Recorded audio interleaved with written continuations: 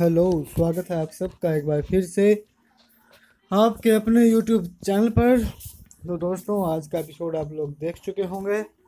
और ये जो भी सीन क्रिएट किया गया है, सुंदर लाल दया बेन को लेने आया है अहमदाबाद के लिए। लेकिन मैं आपको बता दूँ कि क्योंकि दया ने, यानी जो एक्टर दया बेन का करेक्टर प्ले कर रहे हैं इस एपिसोड में, या इस सीरियल में, उनको अपनी निजी ज़िंदगी में कुछ वक्त चाहिए था। आप सबको पता है कि क्यों? तो वो छुट्टी ले रहे हैं शो से कुछ समय के लिए, इसीलिए उनके करैक्टर को अहमदाबाद भेजा जा रहा है ताकि आने वाले कुछ एपिसोड्स तक उनकी ज़रूरत ना पड़े और ना दिखाया जा सके। आप लोग समझ ही गए होंगे मेरे ख्याल सबको पता ही होगा क्यों? क्योंकि वो माँ बन चुकी हैं एक बेटे की, इसलिए छुट्टी ले रखी है। उन्होंने छः महीने की छुट्टी ले रखी है शो से। छः महीने की छुट्टी काटने के बाद ही वो दोबारा से फिर से दिखाई देंगी।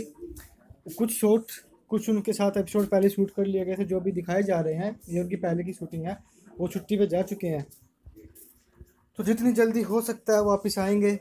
आप सबको फिर से देखने को मिलेंगे, लेकिन इस बार की नवरात्रि जो गोकुल धाम में होगी, वो बिना दया बहन के ही होगी। तो आप मिस ज़रूर करेंगे उनको, और मेरे ख्याल से सभी लोग जो भी दर्शक हैं मिस करेंगे। तो अभी होने वाला है क्या?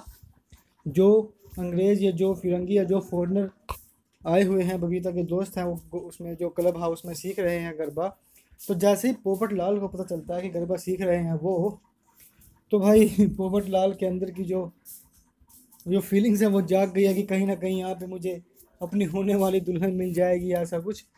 तो वो भाग गए हैं वहाँ पे क्लब हाउस में यही जानने के लिए, यही ढूँढने के लिए अपनी होने वाली घरवाली को। तो यही सब कुछ होने वाला है कल के एपिसोड में।